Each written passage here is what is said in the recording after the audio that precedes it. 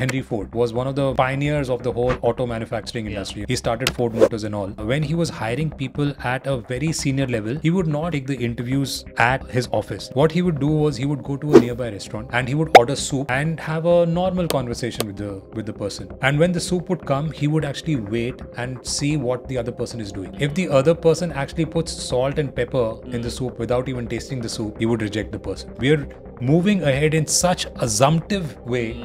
Our brain, you know, just thinks that okay, soup is here or a pizza is here, put an oregano, Yeah. put a chili flake. That's how the human mind functions. You have to understand that you cannot get rid of the automated brain. Once you become aware of all the biases or the assumptions or the way of thinking that you have, the idea is to first really get into a reflective mode and then eventually change your automated mode in a way that it starts sort of throwing up the right things.